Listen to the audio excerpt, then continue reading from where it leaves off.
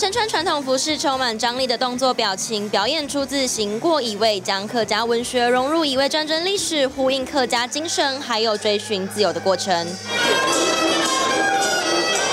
客家八音演奏配着歌手快嘴，将海外发扬光大的雷鬼音乐结合。不过一个转音，其他歌手带着小朋友出现，一同齐唱客语歌曲，搭配后方创新的视觉设计，展现出全然不同的客家 New World。疫情的压缩情况之下，能够在非常紧迫的时程之内，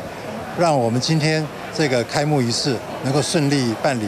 二零二三世界客家博览会在十一号上午正式开展，由客委会及桃园市政府共同主办，是全世界首次以客家文化为主题的博览会，希望台湾成为客家文化振兴的故乡，可以让台湾成为全世界客家文化传承、发展、永续的一个核心跟平台，这是我们软性国力的展现。世界客家，台湾客家。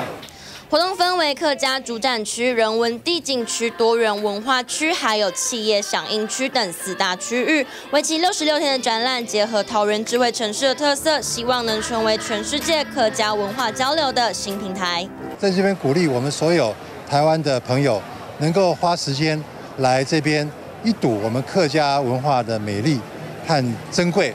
期盼大家可以不分族群，你我一同欣赏展览，认识多元文化特色，体验客家风俗民情。TBS 新闻林志伟兰亭陶仁强报道。想看最完整的新闻内容，记得下载 TBS 新闻网 APP。